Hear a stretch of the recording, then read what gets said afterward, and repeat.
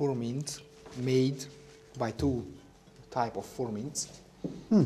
plants, aged and fermented and aged inside wooden barrels, as we see on the cellar. in the- The label would you- Yeah. Thanks.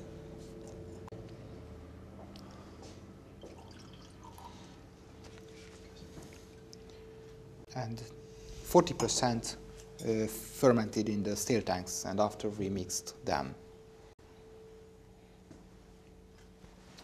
But two kinds of ferment. Yes, yeah. The treatment is I- okay. Yes, Yeah, yeah. yes, yes, yes.